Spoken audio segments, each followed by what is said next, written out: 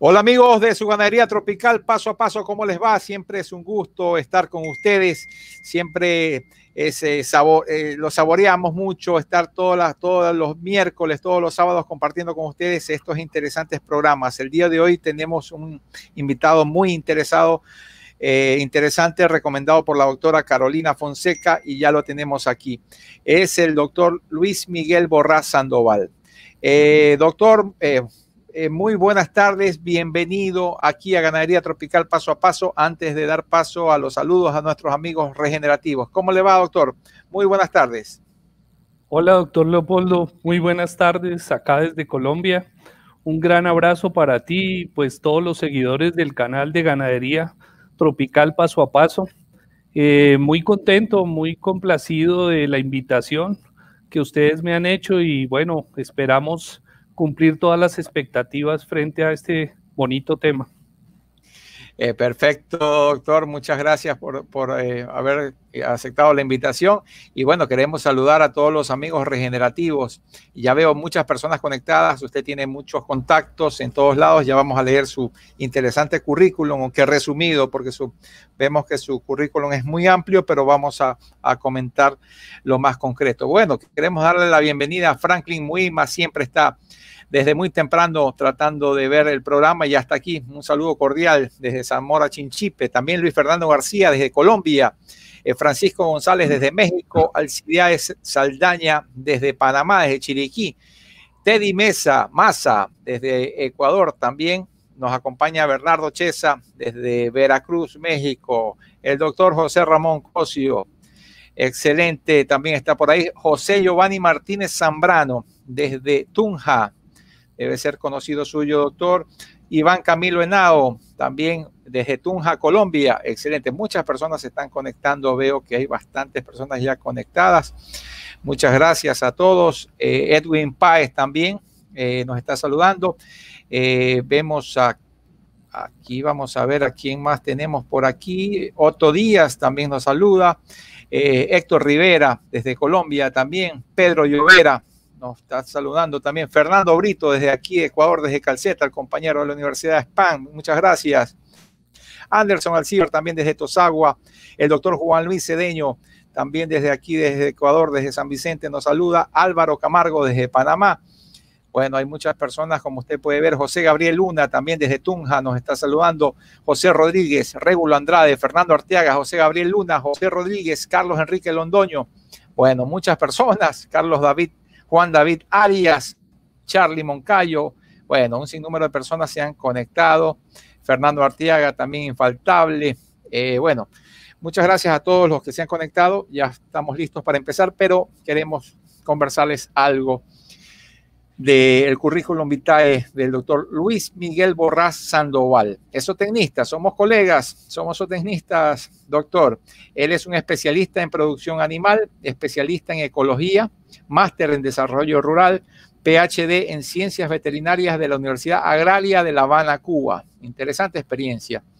Docente de planta de la Universidad Pedagógica y Tecnológica de Colombia, UPTC. Excelente. Área de trabajo en sistemas alternativos de alimentación animal. Un tema muy interesante y bueno, ya vamos a empezar directamente eh, con la programación, así que ya tenemos, vamos a, cambiarnos a, la presentación para irla viendo mientras eh, nuestros amigos ya de Ganadería Tropical paso a paso se conectan. Yo creo que se han conectado un poquito más. Vamos a dar los últimos saludos a ver quién más se conectó.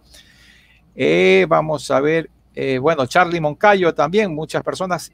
Eh, Jaime Fajardo desde Venezuela, Lucía Hop también desde Colombia, Angélica Paola Rodríguez desde Boyacá, Colombia. Bueno, mucha influencia del doctor eh, Luis Miguel, así que ya estamos listos.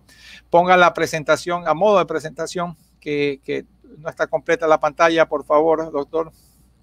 También está Donaldo Rodríguez, eh, también nos está saludando. Póngala directamente a modo de presentación para que se vea más amplia, por favor. Ahí está. Ahí sí, ahí sí está completo. Bueno, Bulmaro Pelagio también nos saluda desde Guerrero, México. Muchas gracias a todos por conectarse. Eh, Nilson Alberto Córdoba, bueno, hasta ahí llegamos los saludos y ahora sí, vamos con usted, doctor los micrófonos de ganadería tropical paso a paso son suyos y eh, lo escuchamos en este interesante tema. Adelante. Eh, Polo, muchísimas gracias. Eh, reitero un saludo especial para esa gran audiencia que tenemos en estos momentos. la invitación específica del canal de Ganadería Tropical Paso a Paso, pues me planteaba alguna opción y yo les decía que realmente el área de trabajo la que he venido desarrollándome en los últimos 10 años, pues ha sido básicamente en el desarrollo de una tecnología que es la fermentación en estado sólido, eh, de la cual pues obviamente voy a hablarles hoy, mostrándole como una gran alternativa que puede llegar a ser para utilización específicamente de residuos de cosecha. Y, es por eso que he querido centrar mi, charla específicamente en esto, en los residuos de cosecha como una alternativa para la alimentación animal. Eh, realmente lo que quisiera, pues básicamente sería, em, primero que todo, pues voy a hacer una pequeña introducción para posteriormente hablarles un poquito sobre la tecnología como tal y centrarme quizás en unos trabajos específicos para que ustedes puedan llevarse una, una mejor idea de, de, qué es lo que estamos haciendo y qué es lo que estamos planteando nosotros. Muchísimas gracias y bueno, vamos a arrancar a ver. Eh, realmente uno de los grandes inconvenientes que se tiene, especialmente eh, yo estoy ubicado, por ejemplo, en la zona del, altiplano cundiboyacense, en el centro del país, en Colombia. Eh, nosotros, pues obviamente es un departamento que es gran productor de papa especialmente y pues algunos otros productos, no quiere decir que solo sea de, de clima frío y aprovecho eh, la oportunidad para decirles que de pronto no, esta tecnología no está aplicada solamente al, ejemplo que les voy a dar a ustedes, que es la papa, pero realmente hay muchas oportunidades para hacerlo. Lo hemos hecho en, frutas, hemos hecho en, gran cantidad de residuos de cosecha que cuando yo hablo de un residuo de cosecha, específicamente estoy, estoy hablando es de la, la posibilidad de utilizar como su nombre lo dice, lo que sobre de la cosecha, lo que no tiene valor comercial realmente. Muchas veces tenemos, en el caso nuestro, por ejemplo, cierta estacionalidad en el cultivo, entonces, pues hay épocas en que desafortunadamente existe una gran abundancia de, papa y eso hace que para los productores desafortunadamente el mercado eh, disminuye sensiblemente los, la, la venta, pues el, el, costo del, del, del, producto y eso hace que pues su rentabilidad se vea sensiblemente afectada. Realmente cuando nosotros hablamos de, de, residuos, pues pueden haber de muchísimos tipos, ¿cierto? Fibrosos, como las cañas, los tamos de, de los cereales, por ejemplo. Eh, hay residuos que son netamente energéticos, o como las frutas, por ejemplo, hay muchos raíces, tubérculos que tienen esa doble posibilidad, que tienen una buena proteína, pero también tienen una magnífica energía. Eh, tenemos residuos, lo que se determinan como residuos suculentos, es decir, que tienen una gran cantidad de agua, ¿cierto? Presente y eso pues dificulta y específicamente cuando nosotros estamos eh, formulando raciones para animales. Entonces, todo eso es importantísimo que nosotros lo tengamos en cuenta. Lo primero que debemos tener en cuenta es esto. ¿Qué tipo de residuos tenemos? ¿ok? Eso es algo muy, muy importante para empezar a pensar cómo podríamos nosotros alimentar a nuestros animales. Adicional a eso, un segundo ítem sería la producción, ¿cierto? Hombre, yo tengo disponibilidad todo el año de ese producto o simplemente eh, es una cosecha al año, ¿verdad? Nosotros, por ejemplo, tenemos, hicimos un trabajo muy interesante con, los residuos de la cosecha de la pera, pero pues hay una dificultad que prácticamente solo tenemos una cosecha al año. Entonces, eh, las opciones son magníficas en ese sentido y de pronto por, la, por el tiempo por lo menos en que tenemos para utilizar la cosecha, pues podríamos utilizarla porque es que si no, pues desafortunadamente no tiene otro valor distinto y terminamos seguramente eh, simplemente desechando eso, ¿ok? Es importante ver los rendimientos también por hectárea. ¿Por qué? ¿Por qué digo rendimientos por hectárea? Porque realmente eh, hay algunos autores y la misma FAO donde dice que podemos fácilmente llegar al 30% de la cosecha que se considera como un residuo, que se considera eh, muchas veces cuando se eh, en la calidad del producto, entonces lo que en muchas zonas son las segundas, las terceras, es decir, la, la, primeras eh, como tal son los que tienen mayor valor desde el punto de vista económico y de ahí en adelante, desafortunadamente, pues eh, muchas veces ni siquiera tienen comercialización. ¿Ok? Es importante también ver el origen, claro, porque lo que, lo que nosotros le estamos apuntando es que utilicemos recursos locales. ¿Cierto? La alternativa está dado en eso, porque si yo tengo que traer de otra zona geográfica del país esos residuos, pues seguramente los costos de los fletes y demás, pues ya no, ya no será tan atractivo para poder trabajarlo como tal, ¿ok? Y otra cosa importante, especialmente cuando se habla hoy de, de algunos productos de tipo agropecuario, y específicamente tenemos como la soya, el maíz, bueno, lo que se está hoy utilizando especialmente en biocombustibles. Nosotros históricamente hemos competido alimentación humana versus alimentación animal.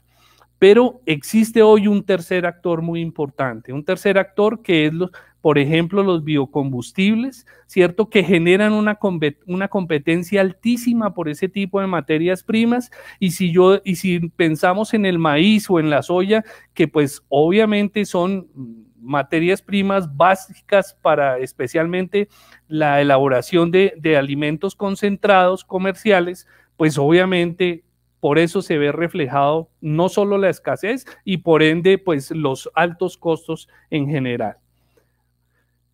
¿Qué pasa con los residuos? Realmente los residuos eh, prácticamente podríamos resumirlo que solo tienen estas rutas. La primera de ellas y la mejor podría llegar a ser que pudiese llevarse a un compostaje, ¿cierto? Que esos y que convertir eh, esos residuos en materia orgánica disponible para el suelo, abonos orgánicos básicamente. ¿Ok? Ese, vuelvo y les digo, ese sería el mejor escenario que podríamos tener específicamente para eso. Pero desafortunadamente, eh, a veces por volumen y demás, pues los, los productores no tienen una alternativa distinta, sino por ejemplo enterrar el producto. ¿Sí? O en el peor de los casos, dejarlos en, la, en, en, la, en, el, en el campo en donde se realizó la cosecha con todas las dificultades que eso significa, especialmente de tipo sanitario, porque en últimas pues estamos dejando todo el caldo de cultivo para multiplicación de plagas y demás, que pues desafortunadamente a veces por no tener el conocimiento termina siendo realmente un problema muy grave para los agricultores y demás. Otra opción, desafortunadamente no ambientalmente no, no, muy, no muy recomendable, pues es la quema eh, se da muchísimo cuando en la recolección de las cañas del maíz, en los tamos de los cereales y demás, pues que no se les encuentra una opción diferente, ¿cierto? Y simplemente se queman en el, en, en el, en el sitio del cultivo o como vemos en la fotografía, pues simplemente eso se, se recoge y se quema todos sabemos que las quemas tienen unos problemas bastante significativos, especialmente con el suelo. Eh, hay trabajos donde dicen que en la, temperatura que puede llegar a tener el suelo en, una quema puede llegar a los mil grados centígrados, lo cual pues desafortunadamente estaría generando un problema grandísimo, especialmente a nivel de esa microflora y microfauna presente en el suelo como tal. Y finalmente, en el mejor de los casos, pues es utilizar esos subproductos en la alimentación animal.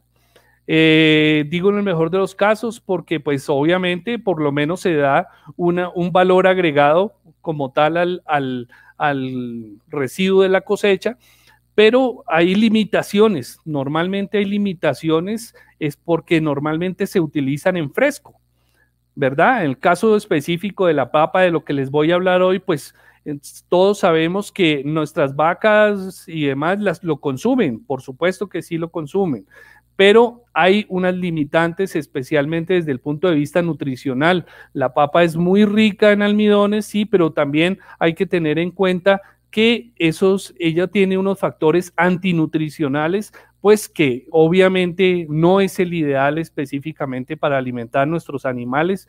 Hay presencias de solanina, chaconinas y demás que cuando hay esa acumulación los animales eh, presentan toxicidad frente al uso. Por eso se limita, por eso obviamente eh, hay dificultades cuando nosotros trabajamos con la papa en fresco, por ejemplo. Es para darle simplemente un ejemplo, pero la gran mayoría de los residuos hay que tener mucho cuidado con eso y es precisamente cuáles podrían ser las limitaciones que se tienen. Otra cosa importante es que la gran mayoría de estos residuos o son altamente fibrosos o en el caso de la papa, pues muy suculentos, tienen una cantidad inmensa, fácilmente supera el 90% de agua. O sea, entonces eh, eso hace que en el consumo voluntario del animal se vea reducido y por ende pues vamos a tener dificultades. Vamos a tener un animal lleno, pero un animal lleno no significa un animal nutrido. ¿Ok? Entonces eso es muy importante. Bien, yo les decía que la alternativa biotecnológica que les estoy planteando en este momento es la utilización de la fermentación en estado sólido. La fermentación en estado sólido, pues digamos que si vamos un poco a la historia, realmente ha sido una, eh, una técnica, una tecnología utilizada desde hace muchísimo tiempo, muchísimos, muchísimos años. Quizás en ese momento pues no se determinaba y no se sabía que era una fermentación en estado sólido. Quizás no teníamos el conocimiento suficiente para saber qué era lo que estaba sucediendo y qué era lo que generaba las transformaciones allí. ¿Ok? Entonces, la fermentación en estado sólido podemos, eh, hay cosas eh, tan sencillas como un pan o un queso y eso en su proceso básico es una fermentación en estado sólido hay otros productos, bebidas fermentadas, ¿cierto? Y demás, que pues básicamente digamos que, que, podríamos hablar como antecedente, como, como referente histórico de la fermentación.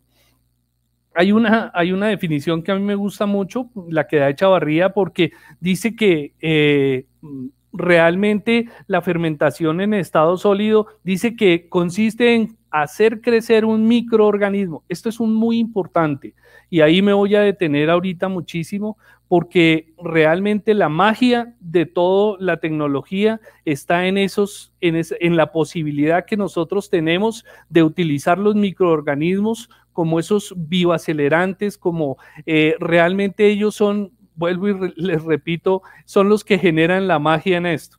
¿Ok? Y trataré de ser muy explícito en eso. Y simplemente, ¿qué es lo que hace?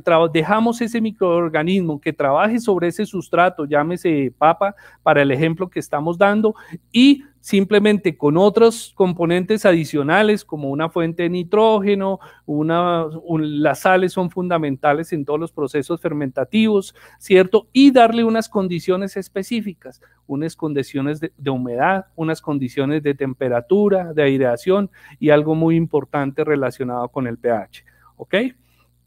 Quizás tendríamos el tiempo, quizás toda la hora que gentilmente me están regalando para, para solamente hablar específicamente de fermentación. Pero bueno, miremos, he querido hacer una, una breve reseña histórica de lo que se ha venido trabajando. Tal vez el doctor Arabel Elías Iglesias, ¿cierto? Quien tuve la fortuna de que haya sido uno de mis tutores dentro de mi, dentro de mi tesis doctoral.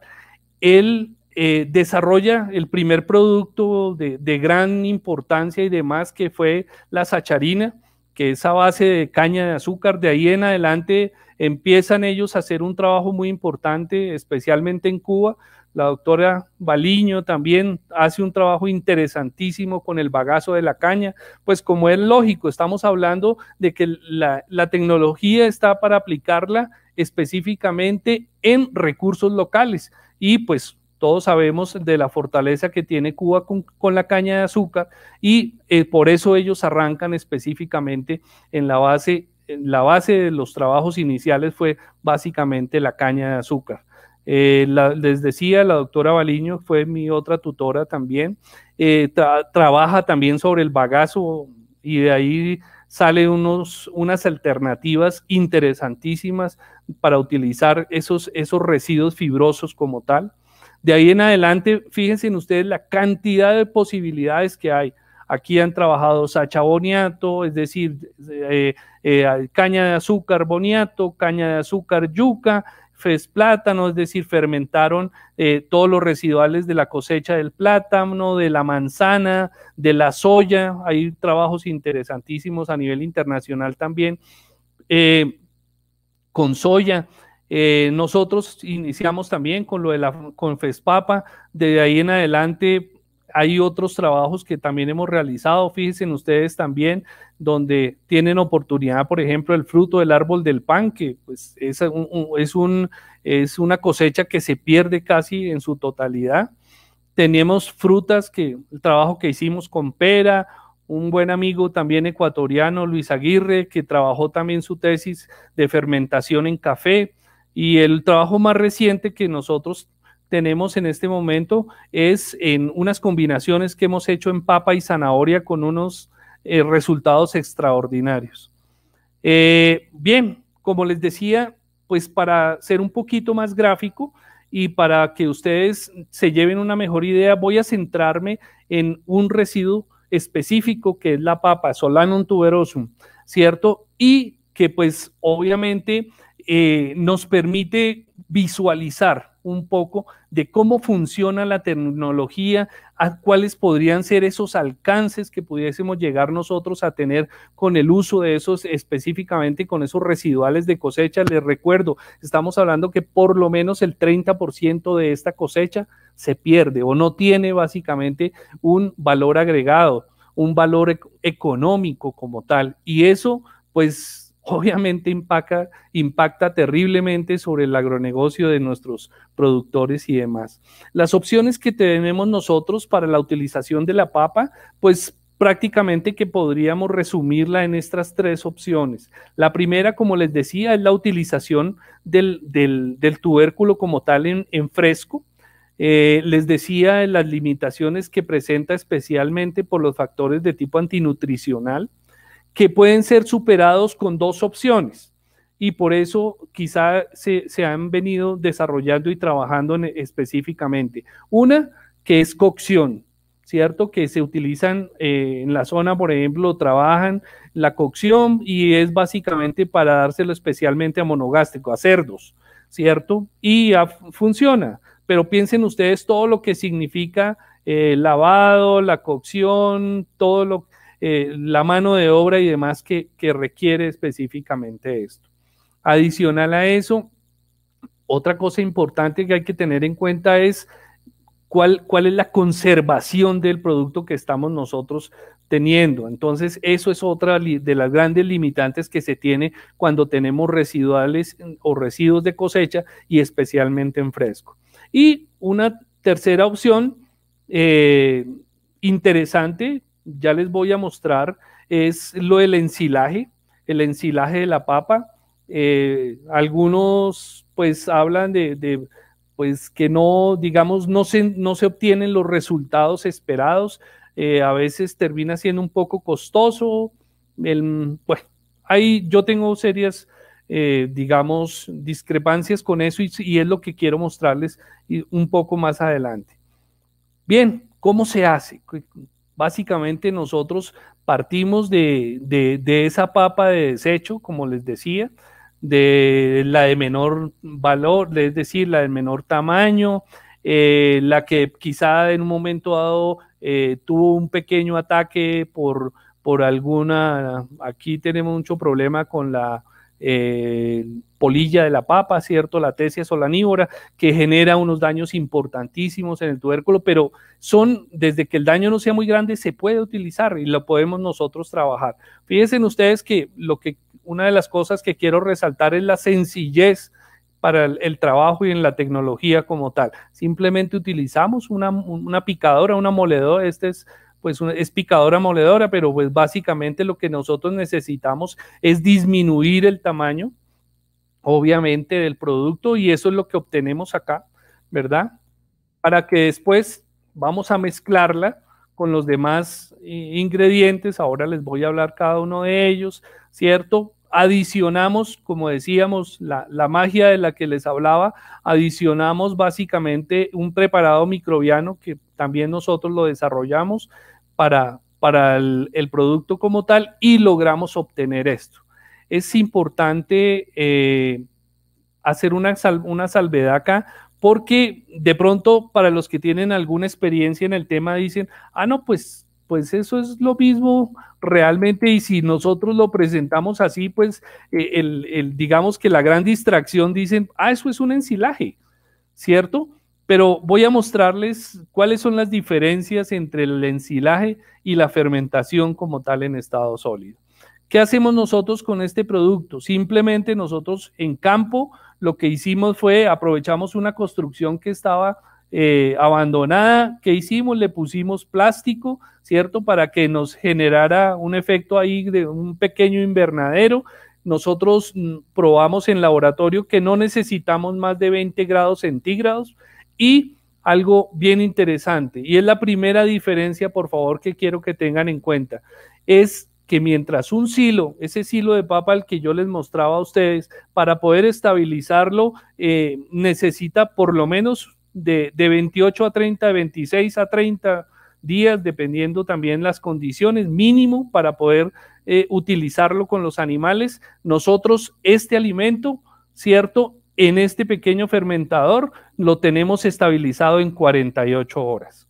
¿Ok? Entonces, esa es la gran, una de las primeras grandes diferencias. Como les decía, aquí les estoy mostrando eh, ya la prueba básicamente que se hizo y con los animales como tal. ¿Qué tiene entonces el alimento como tal del que yo les estoy hablando? Que básicamente nosotros lo hemos determinado como FESPAPA.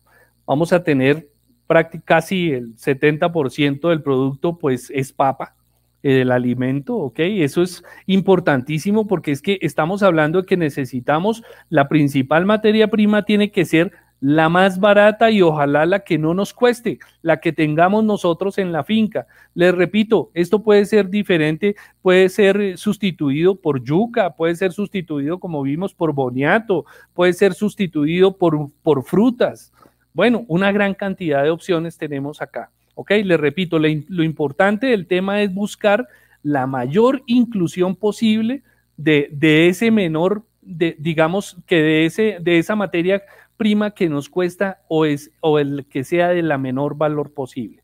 Nosotros finalmente, esta es la mezcla final del producto, utilizamos un 25% de harina de alfalfa, ya les voy a explicar por qué.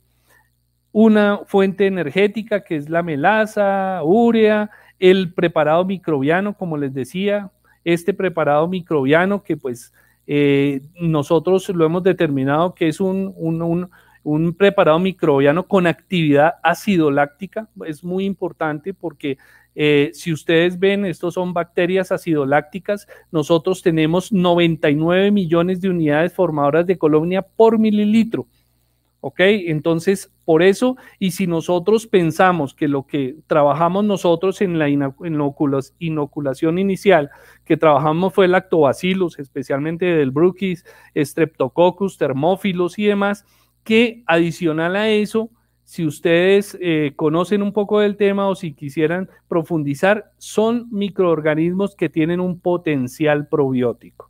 ¿Ok? Nosotros, pues, no, no estoy diciendo eh, aunque tenemos ya el soporte suficiente para decir que ese aditivo microbiano, que ese preparado microbiano tiene un potencial probiótico y realmente es la, respuesta en que ustedes, por lo que ustedes van a darse cuenta que la respuesta en los animales es tan interesante. Como les decía, una vez mezclamos esto, simplemente llevamos, fermentamos esto a 48 horas y por un tiempo de 20 grados centígrados. Aquí puede surgir la primera pregunta, ¿cierto? Y a los 48, perdonen, y a los 48 horas podemos empezar a alimentar a nuestros animales. Y aquí puede surgir la primera pregunta en el sentido de decir, bueno, y si yo tengo una cantidad significativa de papa, o sea que a los 48 horas, y si yo no puedo utilizar rápidamente eso, ¿se me va a dañar? ¿Cierto? Esa sería una primera pregunta muy interesante porque nosotros queremos es tener un stock ¿cierto? De alimento especialmente para las épocas difíciles, para las épocas de verano, para que... Y realmente nosotros llevamos, eh, hicimos un trabajo muy serio de la dinámica de la fermentación del producto y lo llevamos a 90 y 100 días. Ese trabajo está publicado, usted en internet lo pueden buscar, se llama Dinámica de Fermentación del Estado Sólido de la, de la Papa y se pueden dar cuenta ustedes de lo que les estoy hablando. Esto es rápidamente, voy a explicarles cómo funciona el proceso de un ensilaje normal para poder empezar a diferenciar entre un ensilaje y la fermentación en estado sólido. Hay tres fases, básicamente. Algunos hablan de una cuarta fase, pues que ya sería cuando se abre la bolsa del ensilaje y pues vamos a ver que hay condiciones distintas. En esa primera, lo primero que hay, fíjense en ustedes, estamos nosotros hablando de unas variables que son importantísimas. Vemos que cuando hay energía suficiente, estos glúcidos y demás, pues vamos a ver que efectivamente el pH se mantiene, es decir, que hay comida suficiente para los microorganismos y demás allí presentes en esta primera fase, también mientras se agota el oxígeno y después, fíjense en ustedes que rápidamente empieza a descender el pH es lo que realmente buscamos en un ensilaje, es que ojalá lo más rápido posible descendiera el pH. ¿Por qué? Porque es que eso es lo que nos va a garantizar que efectivamente esos microorganismos no deseados, ojo con eso, esos patógenos y demás, tenemos una gran ventaja que a pHs bajos ellos mueren. ¿Ok? Entonces eso es bien importante y por eso es que se busca que rápidamente descienda. Pero una de las cosas que nosotros buscamos en, el, en la fermentación es que esto no se dé tan abrupto. Nosotros queremos que haya una estabilidad relativa en el pH, claro, ello, él va a descender. Normalmente un, silo puede estar entre 5, 3, 6 al final de, su pH. Nosotros quisiéramos que estuviera, pues, ojalá por encima del 4 5. Y, y de pronto, pues, no sé si al final podemos para que ustedes vieran algo de las tablas de microbiología y ver que efectivamente es un alimento absolutamente inocuo. Entonces, fíjense en ustedes, ya estamos hablando que hay diferencias importantes en el tiempo de, fermentación, ¿cierto? De estabilización del silo y el, obviamente la más importante, no es lo mismo hablar de 30 días, hablar de 48 horas, ¿sí? Y el comportamiento especialmente de esto. Adicional a eso, nosotros en, el, en, la fermentación no tenemos que sacar completamente el oxígeno. El principal eh, enemigo de un ensilaje es la presencia del oxígeno porque inmediatamente va a generar putrefacción. ¿Ok? Nosotros no, porque nuestras bacterias son normalmente son facultativas, microaerobias y demás, entonces no tenemos que ser eh, tremendamente estrictos en sacar, en agotar completamente el oxígeno y no necesitamos, y eso nos ayuda a que no necesitemos maquinaria adicional ni nada de eso para poder nosotros utilizarla, ¿ok? Bueno, voy a irles contando otras cosas adicionales de esas grandes diferencias. Fíjense en ustedes un trabajo que hace Ruiz en el 2006 y lo comparamos con el trabajo nuestro, específicamente en algo bien interesante. Fíjense en lo que estamos hablando. Ellos llevaron un silo de papa más melaza y alfalfa, que si ustedes recuerdan son prácticamente los mismos componentes que nosotros tenemos, pero lo único que tiene la fermentación en estado sólido de la papa, aquí esta FESPAPA, es que tiene eh, el preparado microbiano. ¿Ok? Entonces, veamos la diferencia. Miren que hay diferencias sensibles específicamente en el pH. ¿Ok?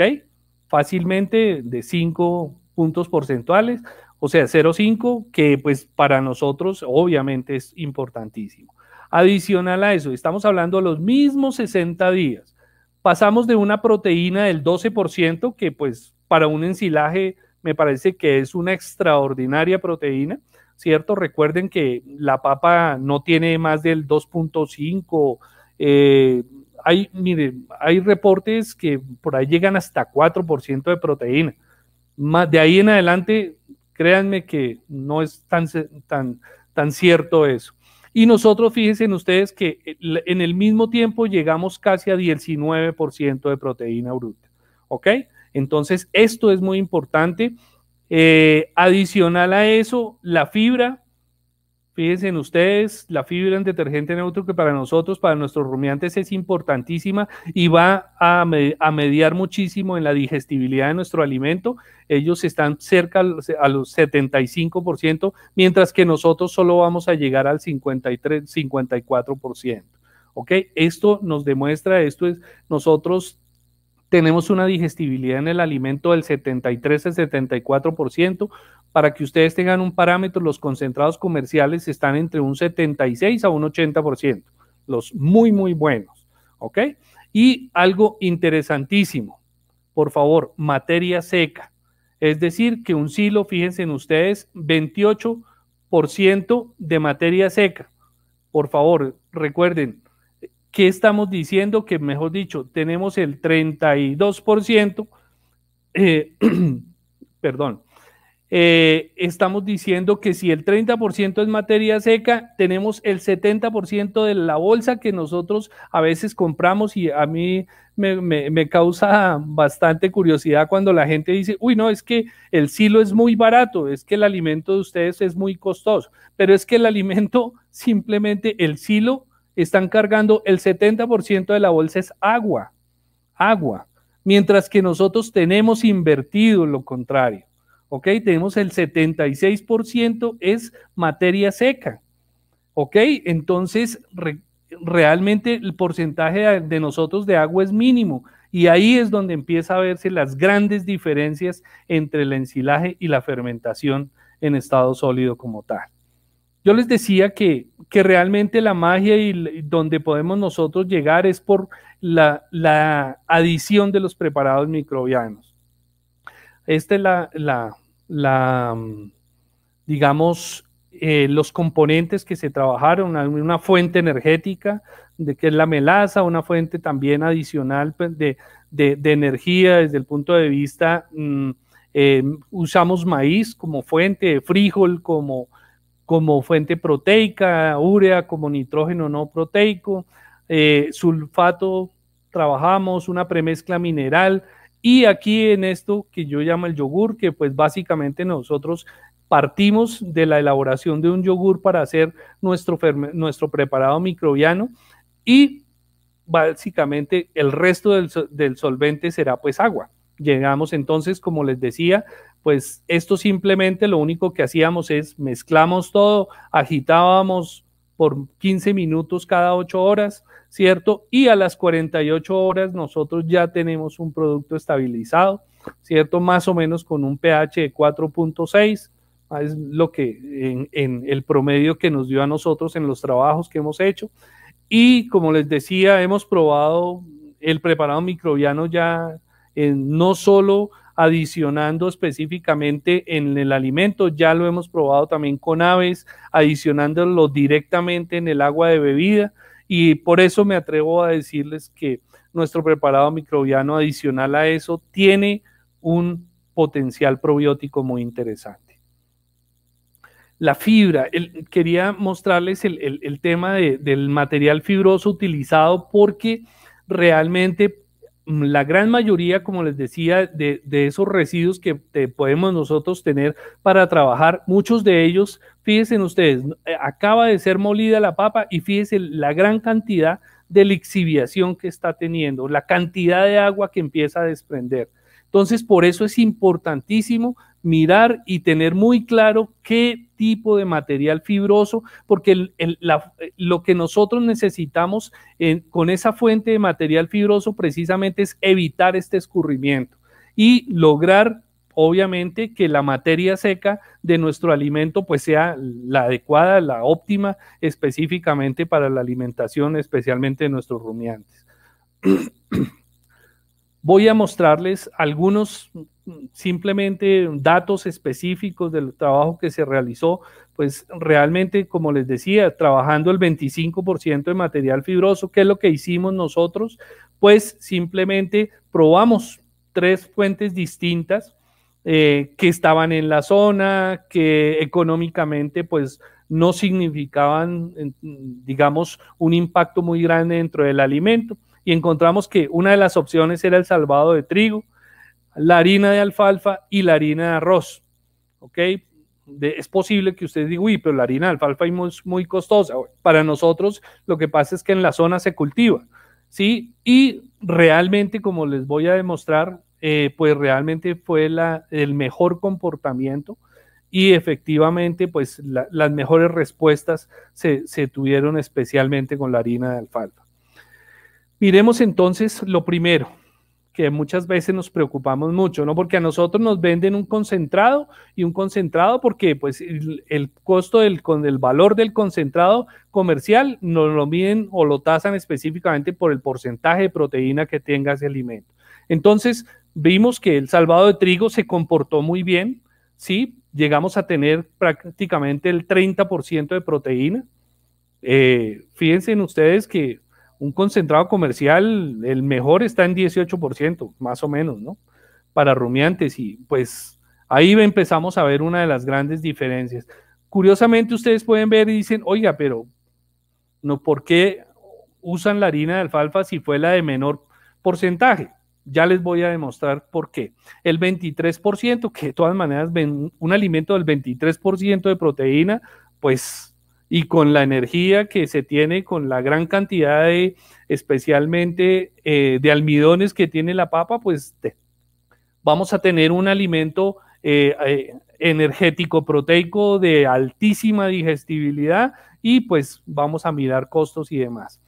¿Qué es esto? Esto se llama proteína verdadera y la proteína verdadera básicamente hace referencia a ese porcentaje de esta proteína que para el caso específico de nosotros más o menos se comportó entre el 65 al 72%. Este es el alfalfa, quiere decir que la alfalfa tuvo el mayor porcentaje de proteína verdadera. Para los que no estamos familiarizados con el término, proteína verdadera hace referencia a esa proteína pura, esa proteína altamente digestible y que viene específicamente de esa proteína de origen microbiano por el tiempo no podría, es, digamos, ampliarme un poco más, quizás en las preguntas si las hay, pero quiero decirles que de todas maneras esto es una proteína de altísimo valor biológico especialmente y que observen ustedes que pues realmente los, los mejores, digamos, los mejores porcentajes estuvieron acá, ¿cierto? Pero como les decía, eh, vamos a tener un, en la presencia de la proteína bruta por lo, eh, del 65 al 72%. Yo les decía que el material fibroso pues es fundamental y por eso decidí poner esta tabla para mostrarles a ustedes cómo era el comportamiento, fíjense en ustedes, hablamos de la materia seca, que recuerden, es otra de las, de las principales diferencias con el ensilaje. Recuerden que mientras el silo tiene el 70% de agua, nosotros tenemos el 75% de, de materia seca, ¿ok? Entonces, eso es la principal diferencia y es algo que ustedes deben tener muy en cuenta. Entonces, fíjense en ustedes, el mayor porcentaje lo tuvimos de materia seca en la harina de alfalfa los que quizás tengan mayor conocimiento van a decir, oiga, pero, pero si de pronto la materia seca es muy alta, de pronto la digestibilidad se va a castigar. Y resulta que, fíjense en ustedes que, curiosamente, en la fibra detergente neutra, ¿cierto? Que pues la que decíamos que es muy importante para nuestros rumiantes, es el menor valor. Observen. Y algo importantísimo, que es el componente de, digamos, de casi que no digestible de esa fibra, el menor valor lo obtiene la harina de alfalfa, ¿ok? Con una diferencia marcadísima. Entonces, por eso es que les decía que la harina de alfalfa fue la de mejor comportamiento y que efectivamente nos está garantizando un alimento que, como les decía, puede estar superando el 70% de la digestibilidad. Para el caso específico de nosotros, estuvo entre el 73 y, y unos trabajos hasta el 76, pero el estandarizado el 73%. Miren ustedes entonces cómo hicimos el trabajo con los animales.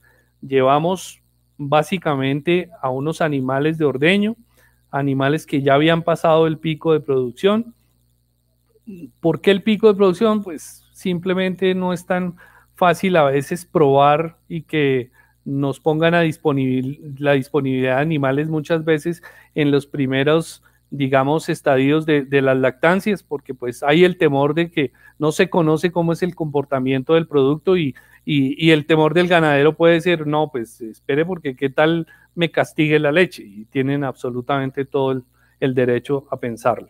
Entonces, como les decía, lo que nosotros hicimos fue una suplementación, ¿cierto? De tipo estratégico. Nosotros en los ordeños, ¿qué hicimos? Nosotros utilizamos un concentrado de alta gama, ¿cierto? Un concentrado comercial y lo enfrentamos, lo enfrentamos, partimos de 6 gramos por kilogramo de peso vivo del animal, ya les digo el por qué, y lo enfrentamos a otro 6%, a, a otros 6 gramos por kilogramo de peso vivo y, lo aumentamos un poco a ver qué pasaba. ¿Ok? Esto pues eh, realmente, esto es un trabajo que duró tres meses, ¿sí? Que hicimos una rotación en cada uno de los grupos de animales, rotó por los tres, por las tres eh, tratamientos y observemos cuáles fueron las principales respuestas como tal. Primero, como les decía, peso importantísimo. Dice, bueno, que mi animal no me pierda peso, ¿cierto? Es una de las principales, eh, digamos, inquietudes que pueden llegar a tener, obviamente, los, los ganaderos. Observen ustedes que estadísticamente no hubo diferencias, ¿ok? Sin embargo, sin embargo, observen que nosotros estuvimos siempre por encima del peso de los, de los animales que consumieron el concentrado como tal, ¿ok? ¿Qué pasó con la producción? Importantísimo, ¿cierto? Dice, pues era lo que más nos interesaba. No hubo diferencia estadística. ¿Qué significa eso? Pues que podríamos decir que darles concentrado o darles el nuestro simplemente tenía exactamente el mismo efecto, pero no es tan cierto, porque si bien es cierto, estadísticamente no hay diferencia, numéricamente sí. Y si nosotros decimos que casi hay 1.5 más litros día con el alimento, específicamente con los 6 gramos por kilogramo de peso vivo, para que ustedes visualicen esos 6 gramos por kilogramo, si mi vaca tiene 500 kilos, ¿cierto? Yo le tengo que dar 3 kilos al día del alimento, entonces se le damos la mitad en el, en el, en el ordeño de la mañana, la mitad en el ordeño de la tarde, y obtuvimos un, un kilo, 1.5 kilogramos más de leche. Por favor, si eso lo multiplicamos por el número de animales, pues claro que de pronto estadísticamente no haya diferencia, pero numéricamente para nosotros va a ser muy, muy importante. Yo les decía que de dónde sale el 6 gramos por kilogramo. Realmente en trabajos que hizo el doctor Arabel desde el año 83 y posterior a eso, eh, McCollum en el 87, ellos vieron que efectivamente animales que están en pastoreo, esto es muy importante porque eran vacas que consumían Kikuyo, Penicetum clandestinum, ¿cierto? A voluntad y simplemente se les suplementaba en el momento de los ordeños. Ellos dicen y conformaron desde el doctor Arabel, decía que 6 gramos por kilogramo de peso vivo era suficiente para, un, para dar eh, un suplemento a un animal sin que eh, generara ningún tipo de, digamos, de afectación a su celulólisis no, natural, digámoslo así, a nivel ruminal. Entonces, por eso se tomó y fíjense en ustedes que por lo menos a nivel de producción, y si ustedes recuerdan, pues 6 gramos por kilogramo de peso vivo es el que ha dado las mejores respuestas. Algo importante, ¿no? Listo. ¿Qué, qué pasó con el peso del animal? ¿Qué, ¿Qué pasó con la producción? Y algo muy importante, la composición, porque es que a mí también me pagan por la composición y la calidad de la leche, ¿verdad? Entonces, esa composición, vimos que efectivamente tampoco hay diferencias estadísticas, ¿ok? Entonces, no, efectivamente, eh, realmente también nosotros tuvimos los mejores porcentajes de grasa, de grasa, de proteína también, ¿cierto? Pero algo importantísimo porque a nivel de los ganaderos existe eh, una creencia muy arraigada que dice el problema de utilizar alimentos fermentados es que me acidifica la leche. Y observen ustedes, no hubo diferencia. Fíjense, todo lo contrario realmente nosotros estuvimos siempre por, por debajo del, porcentaje de pH que se tenía con el alimento comercial. Entonces ahí se, también se, se desmitifica también el tema específicamente. El problema hoy en la ganadería, y no hablo solo por la ganadería específicamente en Colombia, sé que uno de los grandes problemas que nosotros tenemos en, en nuestros sistemas ganaderos, obviamente, son los costos de producción. ¿sí? Nosotros tenemos disparados los costos de producción, como les decía, la, altísima dependencia de esos insumos externos, específicamente en lo que es el costo de los, del alimento balanceado, pues hace que, que, muchas veces la rentabilidad pues nos quede ahí, ¿cierto? Dentro de nuestro negocio como tal.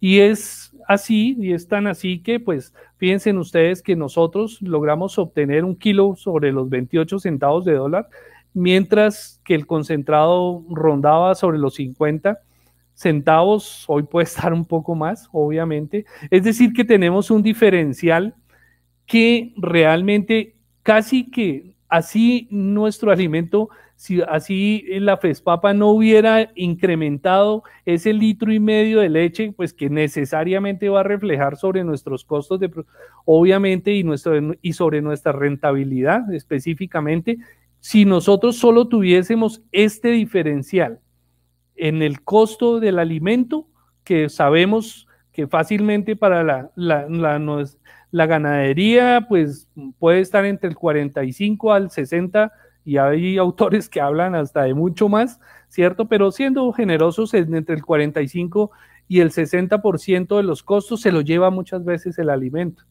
Entonces, piensen ustedes simplemente si nosotros llegamos a tener esta gran diferencia, ¿cierto? Que pues casi que estaría viabilizando realmente la tecnología como tal. Finalmente, quise cerrar con un par de diapositivas y algo muy importante que FAO dice, oiga, hay algo muy importante para cuando nosotros desarrollamos y definimos lo que se determinaría como, como la adopción de esa tecnología. ¿Qué necesitamos para que una tecnología realmente impacte? especialmente pues a los productores. Lo primero que dicen ellos, tener un bajo nivel de inversión. Recuerden, primero, estamos trabajando recursos locales estamos trabajando residuos que normalmente no tienen valor económico. Y tercero, que el, el, ideal es que sería, es que lo utilicemos dentro de los, lo que nos sobre dentro de la finca, o por lo menos si no dentro de la finca en la región. Muy, muy importante. Segundo, que necesitamos tecnologías simples. Fíjense en que aquí no hay no estamos utilizando, simplemente lo único que trabajamos fue una picadora, ¿cierto? Bueno, si yo no tengo una mezcladora y tengo la posibilidad de, es que tengo en la finca una mezcladora de cemento, me funciona y me funciona perfecto para eso. Y si no lo tengo, lo puedo picar con un machete y simplemente a pala, ¿cierto? Poder nosotros hacer las mezclas y obtenerlo como tal. Es decir, la tecnología es muy sencilla, ¿ok? Es decir, que necesitamos, podemos utilizar equipos e insumos locales, es lo que les estoy diciendo, ¿verdad? Que no puede haber, no inducir a riesgos ni ser peligrosa, dice la FAO. Fíjense ustedes que todo lo que estamos trabajando es una tecnología limpia, es una tecnología que, ah, pero alguien puede decir, oiga, pero es que ustedes están manipulando microorganismos. Sí, estamos manipulando microorganismos que son benéficos. Estamos especialmente trabajando con bacterias acidolácticas que tienen adicional a eso un potencial desde el punto de vista, eh, digamos, probiótico, probiótico probado como tal. Y finalmente, que tiene que aportar, pues obviamente ingresos.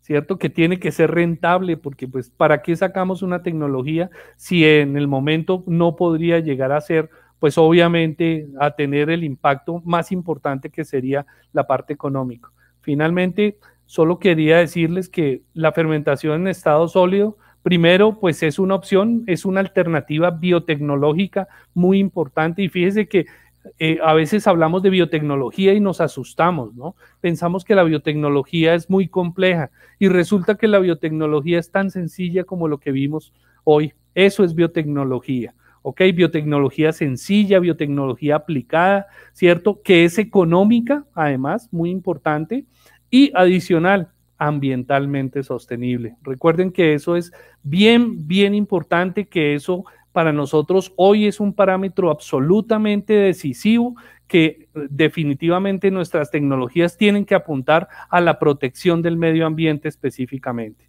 Y finalmente, pues obviamente es poder utilizar una serie de fuentes, una serie de fuentes que eh, pues para nosotros son eh, muy importantes que serían nuestros residuales de cosecha. Muchas gracias a todos, agradezco muchísimo la oportunidad que me dio el canal de Ganadería Tropical paso a paso y bueno, Polo, escucho la... Bueno, ya, ya estamos aquí. Muchas gracias, excelente. Eh, bueno, tuvo una muy buena audiencia.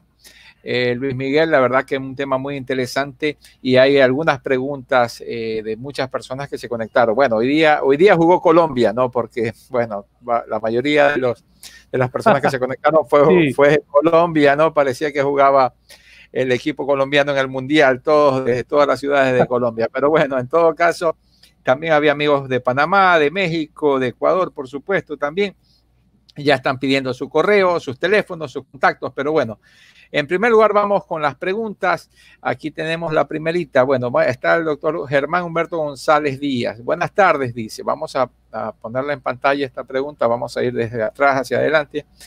Y dice, eh, la verdad que producir es costoso por los gobiernos, no le han apuntado al campo, como Francia. Esto es algo que tenemos en Latinoamérica. Bueno, es más que todo un comentario del doctor Jorge Humberto, muchas gracias. Vamos a ver, vamos a ver, aquí tenemos una pregunta, otra pregunta interesante del doctor Juan Luis Cedeño. Dice, ¿podría comentarnos alguna experiencia práctica acerca del aprovechamiento de tubérculos de zonas de trópico bajo, como el boniato o la yuca con la metodología FES?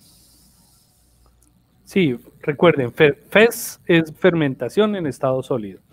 Básicamente, sí, efectivamente, agradezco la, pregunta de, Juan Luis. Básicamente, eh, si, si tú puedes, pues como la presentación quedará ahí, ahí están las referencias en las primeras diapositivas donde en algunos trabajos donde tú puedes encontrar muchísima información, especialmente con Boniato. Sí, con yuca se ha trabajado muchísimas cosas muy, muy interesantes. Es que la yuca eh, realmente nos aporta todo, ¿no? Porque tenemos tenemos la raíz, el tubérculo como tal, que es pues obviamente una fuente energética interesantísima, tenemos el follaje de yuca, pues que puede llegar a superar el 23% de proteína, ¿cierto? Y cuando lo mezclamos con tallos y demás, pues fácilmente puede estar superando el 17% de proteína.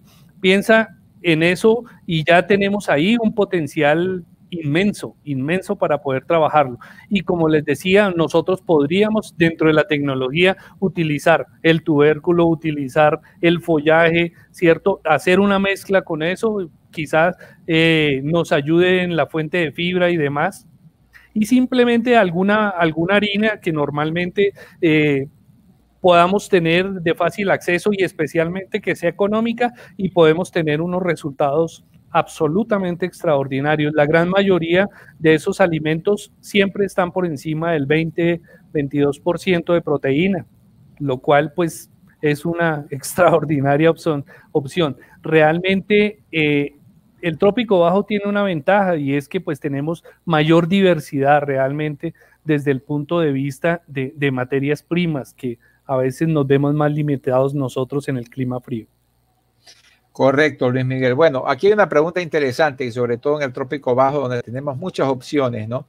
Entonces la pregunta es que si se podría utilizar la cáscara de cacao y otras cáscaras como la de plátano y bueno, hay muchas más que nosotros tenemos. A ver, ¿qué nos podría comentar al respecto?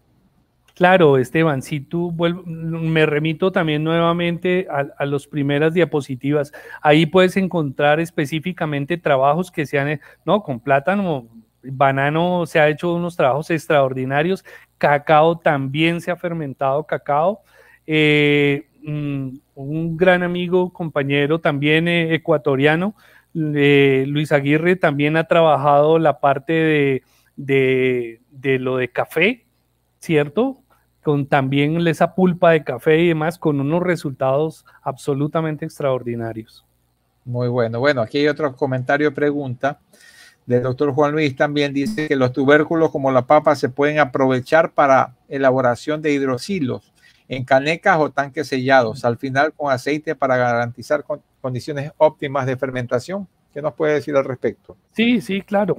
Sí, dentro de la tecnología pues está el, ensilaje líquido realmente nosotros hemos hecho modificaciones, eh, digamos que lo que yo tengo un trabajo que se, llama, yo lo determiné como yogur papa, ¿sí? Que precisamente es hacer una modificación a, los ensilajes sencillos, como lo está eh, describiendo Juan Luis, pero nosotros inoculando con el preparado microbiano y tuvimos unas respuestas muy, muy interesantes. Lo que la invitación sería, básicamente, Juan Luis, es que eh, realmente el, digamos que desde el punto de vista de, ¿qué te diría yo? Digamos, del rendimiento y, el y la respuesta, siempre va a ser mejor la, la, la fermentación en estado sólido que en estado líquido. Pero bueno, hay que ver también que de pronto tú quieras utilizar esa, ese, ese silo líquido, por ejemplo, para monogástricos, para cerdos, por ejemplo, ¿cierto? Y que pues obviamente hay trabajos también muy, muy bonitos, muy interesantes que se han hecho. Eh, el doctor Lescano, eh, ustedes pueden encontrar ahí, yo, ellos trabajaron también en yuca con un ensilaje líquido y con unas respuestas muy, muy bonitas, muy interesantes especialmente en monogástricos. Usted fue muy claro en el tema de, la materia seca, ¿no? Porque acá eh, hubo una fiebre, digamos, del, ensilaje, eh, eh, porque el palmiste es un producto de la palma africana que se lo utilizaba en la época seca, pero hace un par de años sufrió un problema grave la planta, los cultivos, y el, el costo subió. A 12, 13 dólares, cuando normalmente se lo conseguía a 4 o 5 dólares. De esto se aprovecharon algunos productores y comenzaron a hacer ensilaje para venderlo. Y obviamente que vendían el ensilaje por peso, pero no se daban cuenta los ganaderos, obviamente, de que el ensilaje del 65-70% es agua. Es como vender banano también. El banano tiene 85, 90% de agua, ¿no? Y lo que usted nos recomienda es una excelente tecnología. Asimismo, hacíamos nosotros hilos líquidos eh, con, para conservar la cáscara de plátano, que eh, acá se, no sé, bueno, se desperdicia, se utiliza también, pero en las grandes fábricas se podría traer para almacenarla, ¿no? Y con su tecnología eh, sería mucho más fácil porque tenemos mayor cantidad de materia seca, que en efecto es lo que buscamos. No vamos a pagar por agua porque el agua la conseguimos de otra forma, ¿verdad?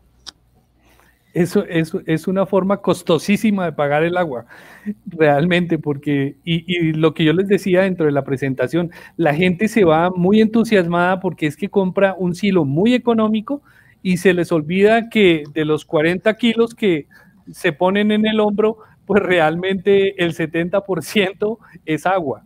¿Ok? Entonces, eso realmente, y si ustedes ven que en la tecnología propuesta nosotros estamos invirtiendo completamente, estamos diciendo que mínimo el 70% es materia seca. Es decir, que los porcentajes de nosotros nunca realmente superaron el 25% de agua y eso, pues, ya lo, por eso es que podemos con toda tranquilidad decir que podemos enfrentarnos a un alimento comercial sin, sin mayor dificultad porque tenemos la composición, es decir, la calidad microbiológica, y, ah, perdón, la calidad nutricional y algo muy, muy importante como también les decía que pues por efecto de tiempo pues hubiese querido mostrarles más cosas, pero eh, la calidad microbiológica también es extraordinaria. Tenemos unos sigue manteniéndose después de la fermentación, como les decía, unos, unos, unos niveles de, de, bacterias, especialmente de acidolácticas, eh, altísimo, altísimos. Y como les decía, pues es gracias a, al preparado peruviano que es lo que... Muy buena digestibilidad, que eso me llamó mucho la atención, la digestibilidad es buenísima. Eh, es fantástica y hace que pueda consumir mucho más el bovino eh, el producto y de esa forma producir más, ¿no? Eso, eso es fundamental.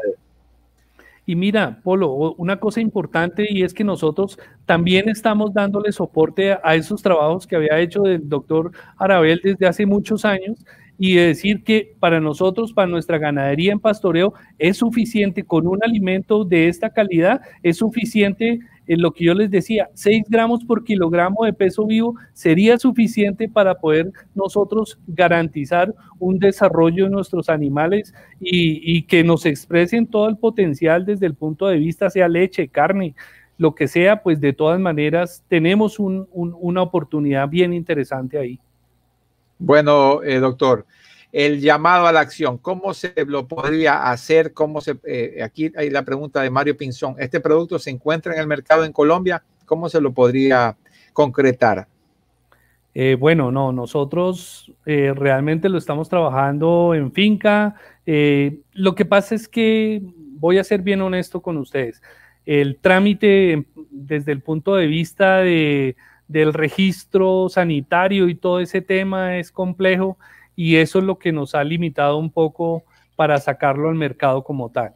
¿Ok? Pero sí, igual ustedes tienen mis datos y demás si quisieran adicionalmente más información.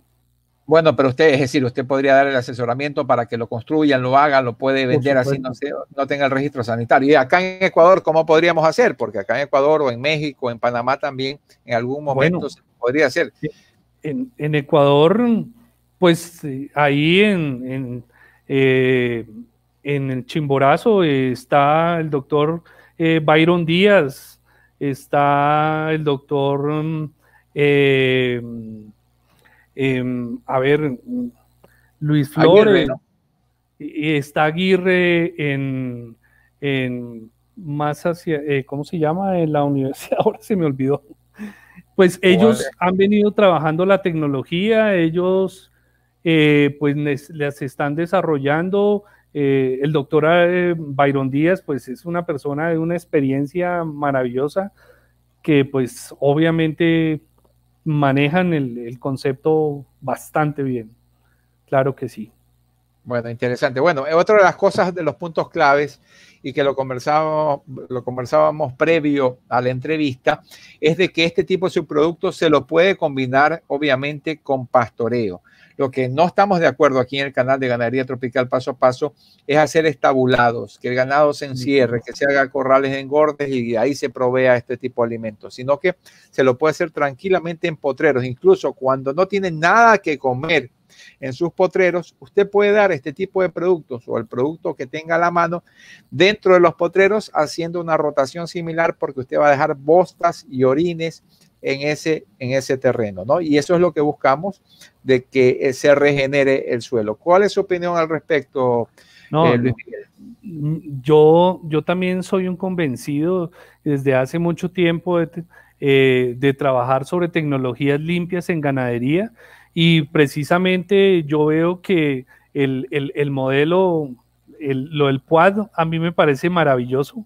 Realmente me parece que esas, esas son las tecnologías que necesitamos nosotros en el trópico, realmente, eh, y que esta alternativa que nosotros estamos planteando en este momento, pues precisamente es para eso, como tú lo decías, nosotros el trabajo y lo que se ha desarrollado son animales en pastoreo. ¿Sí? Son animales que salen a buscar su comida, que la base está en el forraje y que simplemente nosotros estamos haciendo una suplementación estratégica que básicamente lo estaríamos haciendo con este tipo de subproductos. ¿Ok? Entonces, como les decía, pero, pero la base tiene que ser exactamente sobre los principios que ustedes defienden específicamente y que para mí también son absolutamente claros, y es que eh, tenemos que hacer el paso a, una ganadería sostenible y esa ganadería regenerativa precisamente nos está mostrando esa opción y esa alternativa específicamente para nuestro trópico. Correcto, perfecto.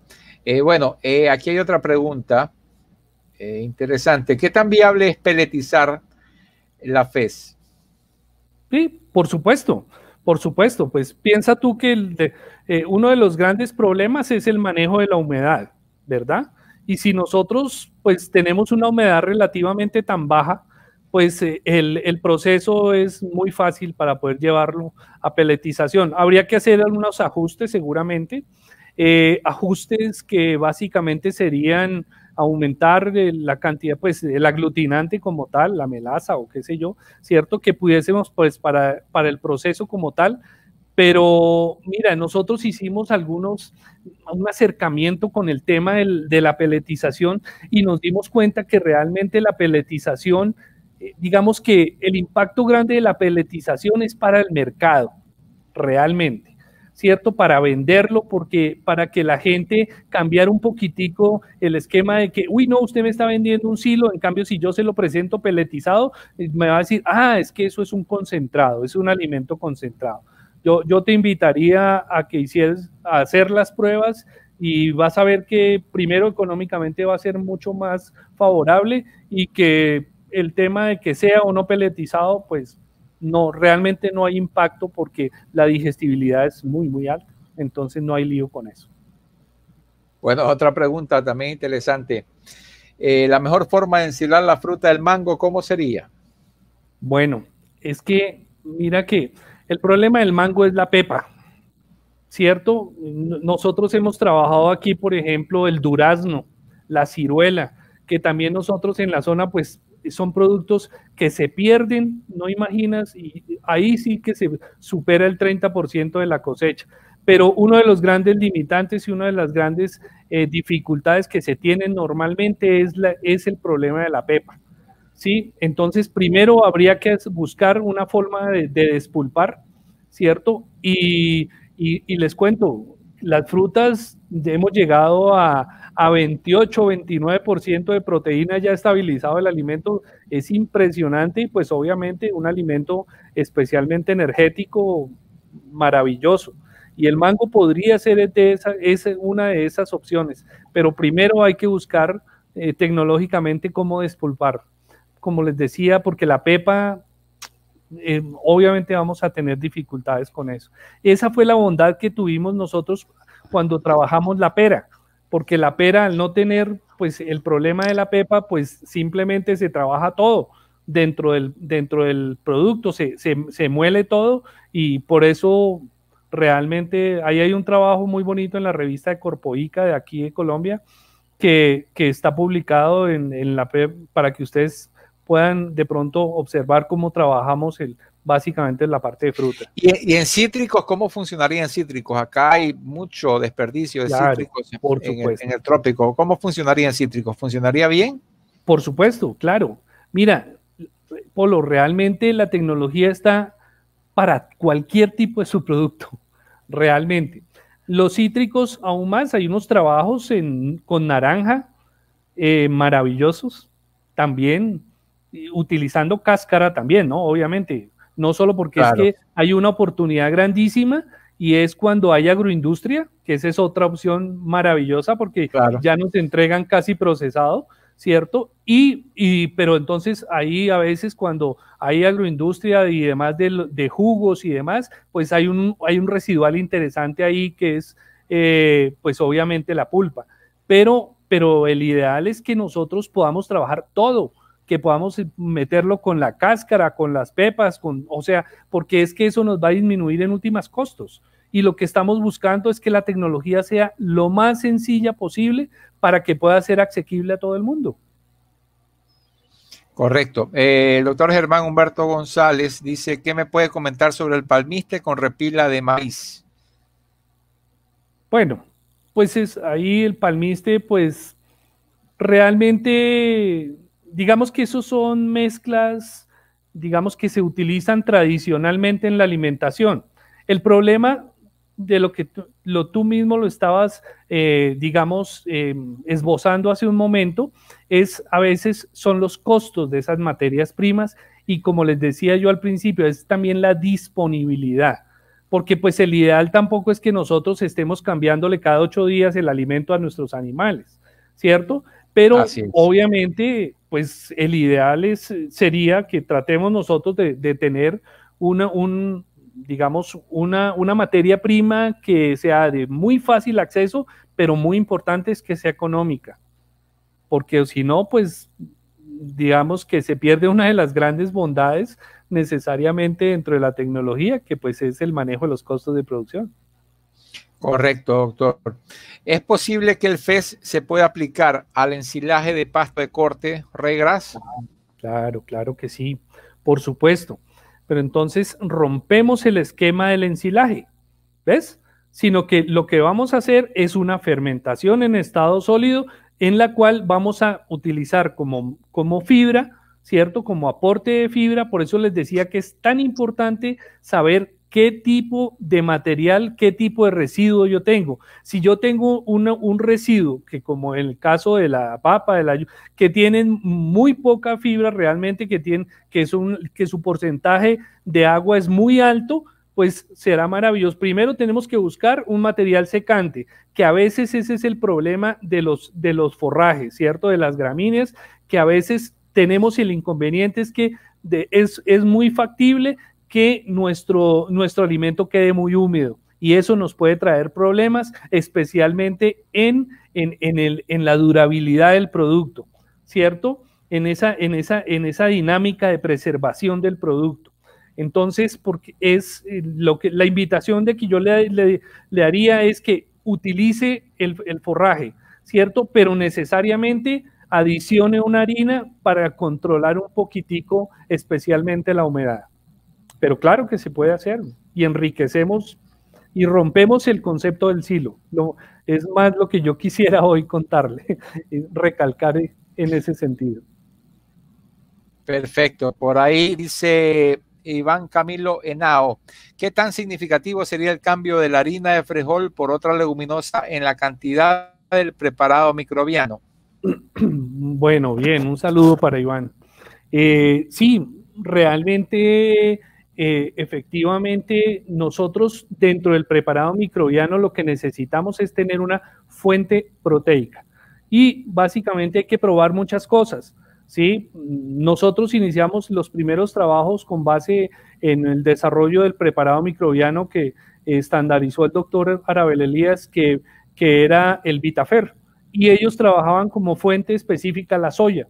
En el caso de nosotros no funcionó no funcionó porque mm, es posible que el tipo de soya que nosotros eh, trabajamos o tenemos nosotros o teníamos disponible, eh, quizás era, era eh, rápidamente se amonificaba tremendo, o sea, el contenido de, de, de, ese componente nitrogenado era muy alto y, y no, no nos funcionó realmente.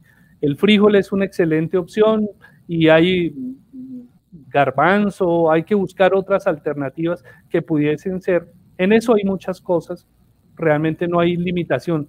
¿Qué es lo que hay que hacer? Constancia, trabajo, hay que probar. la estandarización a veces de los preparados microbianos no son tan sencillos. Nosotros nos llevó algo más de un año poder llegar a decir, venga, ya tenemos realmente la tecnología para poder nosotros estandarizar el preparado. Correcto. Aquí Fernando Orteaga, un médico veterinario de acá de Ecuador, eh, dice que en el proceso de la obtención de la harina de almidón de la yuca queda la cáscara. Como, ¿Cómo podemos aprovechar este subproducto para alimentar al ganado? ¿O tiene sus limitantes? Bueno, sabíamos que tenía una limitante, ¿no? Y habría que odiarla para no tener esos problemas. Eh, con el FES sería más, eh, más propenso a alimentarla Sí, sí, o sea, sabemos que, los componentes cianogénicos que tiene la yuca es complicado, y, pero, pero es, la tecnología está, es sencillo de hacer. Pero algo muy importante y es que, eh, Polo, realmente en todos los trabajos que hemos hecho, y en los que hemos visto que, que se han pues han, tenido la oportunidad de medir específicamente esos factores antinutricionales. Eh, realmente la gran mayoría de ellos realmente se degradan en el momento en que se hace eh, la fermentación. En el proceso fermentativo, la gran mayoría, por ejemplo, en el trabajo que se hizo que en el BREA en el 2015, que se trabajó específicamente lo del fruto del árbol del pan, por ejemplo, ellos midieron, esos midieron varios, varios, eh, digamos, eh, factores antinutricionales y resultó que en el proceso fermentativo realmente controlaron completamente eso. Y nosotros no lo pudimos medir taxativamente, pero estamos seguros que, esos, que esos componentes, esos glicoalcaloides, la solanina y la chaconina de la papa, estamos seguros que fue controlado completamente por la respuesta que tuvimos nosotros en los animales. Correcto. Bueno, por ahí Álvaro Camargo dice que en mi área hay posibilidad de utilizar palmiste. ¿Qué proceso nos recomienda para que nos brinde mayor rentabilidad como pienso para la ceba? Buscar mezclas buscar mezclas. Como te decía, eh, a ver Álvaro, la sugerencia puntual podría llegar a ser, búscate un subproducto que sea muy económico, que puedas adicionarle también dentro de ese porcentaje una, un, porcentaje importante si es lo que quieres utilizar el palmiste, porque es posible que te salga muy económico, porque la disponibilidad sea absoluta. Bueno, y pero siempre hay que buscar la estabilidad, pues hay que buscar un asesoramiento necesariamente de mirar la composición y demás y buscar una estabilidad y quizás eh, poder equilibrarlo con alguna harina sería como ideal. Claro que sí. Bueno, hay otras preguntas interesantes sobre, eh, bueno, por aquí Andrés Moreno dice, habla sobre, sobre la cebolla cabezona. Eh, cómo podría funcionar. También eh, de la cáscara de maracuyá nos habla también Fernando Arteaga. Eh, bueno, eso es lo principal. digamos que habría que mirar con la cebolla específicamente. Pienso que hay que tener en cuenta varias cosas. Una, la posibilidad de, del sabor en el alimento, ¿cierto? Que cuando nosotros podamos hacer nuestras pruebas de cafetería con los animales, pues mm, eh, es posible que haya un rechazo grande, ¿cierto? Eh, yo he conocido experiencias, por ejemplo, cuando uno utiliza a veces el mismo palmiste en las vacas especialmente de leche, que puede dar un sabor a la leche. ¿Sí? Muchas veces eso lo podemos corregir, simplemente no dárselo en el momento del ordeño, sino démoselo después del ordeño. ¿ok? Y normalmente se corrigen esos olores y esos sabores que pueden ser eh, transmitidos especialmente en leche. Eh, no tengo trabajo, no, hemos hecho trabajos específicos. Si es un producto que se encuentra en la zona y que realmente valdría la pena hacer una evaluación. Recuerden que el problema de la cebolla es, pues también es un alimento altamente suculento que tiene un porcentaje de agua altísimo. ¿cierto? Y habría que estudiarlo un poco más. No me atrevería a, realmente, eh, digamos, hablar un poco más sobre eso porque más allá no lo conozco. Eh, bueno, vámonos un poquito de historia, ¿no? Eh, sabíamos, y bueno, los que están en ganadería regenerativa lo conocen, que André Boazán fue llevado a Cuba y que lastimosamente eh, murió muy temprano, en los años 60 aproximadamente. Luego de eso vino Thomas Preston, lo trajeron a Thomas Preston como una alternativa para ayudar a, producir en forma sencilla y económica en el trópico cubano, ¿no? Perdón, pero Thomas Preston hizo gran trabajo sobre todo con la utilización de residuos de cosecha, ¿no? Y tenemos un libro eh, al respecto que nos, eh, que nos ha, ayudado bastante. ¿no? A nosotros el doctor Díaz Casas en algún momento tuvimos un módulo con él, eh, cubano también, debe ser conocido de su tutor que nos comentaba anteriormente, y nos hablaba mucho del caso de Thomas Preston. ¿Qué tuvo que ver? ¿Thomas Preston ya trabajó con esto o es una tecnología más reciente lo del FES, José Miguel, Luis Miguel? No, no, no, no, no, Polo, no, claro, el doctor Preston eh, curiosamente, hace, eh, tal vez iniciando la pandemia, él presentó un en vivo muy interesante con la Universidad de, de Antioquia, si no estoy equivocado, y mostró precisamente trabajos, pues él no lo llama así, FES, pero unos trabajos en fermentación de yuca. Los que están interesados en la parte de yuca, el doctor Preston ha hecho unos trabajos súper interesantes con yuca y, básicamente es eso, esa aplicación de la tecnología, es, es, es lo que básicamente nosotros hoy estamos planteando. Claro que sí. Correcto. Bueno, ahí tenemos muchas conexiones. Tenemos a la doctora Carolina Fonseca que nos ha ayudado también a responder muchas preguntas. Eh, bueno, ella dice que el sabor de la, de la, cebolla pasaría a la leche, sería muy difícil. También tenemos a Alejandro Lizondo, oficial, un saludo afectuoso. Él tiene un canal de, de ganadería muy interesante. Así que bienvenido Alejandro, muchas gracias por estar aquí. Bueno, esperemos también, eh, no hemos escuchado también eh, preguntas de los amigos mexicanos. Hemos escuchado de los colombianos, de los ecuatorianos, pero en México hay eh, algunos subproductos y sobre todo eh, la especie de cactus que tienen ellos que también se podría utilizar. No, no le he visto esa pregunta, pero debería salir de México, ¿no? Para que la... Polo, ahí precisamente antes hablábamos y un, gran amigo que un mexicano también Hugo López de la Universidad de Sinaloa. Ellos vienen trabajando también un trabajo muy bonito, muy interesante en residuos altamente fibrosos, utilizando hongos y enzimas para hacer el desdoblamiento de fibra. Eh, un trabajo bien bonito, bien interesante que vienen desarrollando en todo este tema. Muy chévere del uso de residuos. Bueno, ha sido un tema muy interesante, eh, Luis Miguel, pero bueno, de todas maneras, eh, quiero que nos reitere sus contactos. Eh, nos puede decir su número de teléfono para los que lo pueden anotar. Y si no lo anotan, bueno, también voy a dejar mi teléfono. Muchos de ustedes tienen mi teléfono también para que me escriban. Y si usted autoriza, yo les puedo dar su contacto también, ¿no? Los que no lo pueden, los que no lo pueden. mira, en la última diapositiva está pues para que de pronto alguien lo quiera revisar. Están eh, mis, correos electrónicos y está obviamente el, mi, mi, teléfono es, creo que es más 57, creo que es Colombia, 301-430-7667. Ese es el teléfono con el WhatsApp o si ustedes quisieran llamar cualquier cosa, con mucho gusto.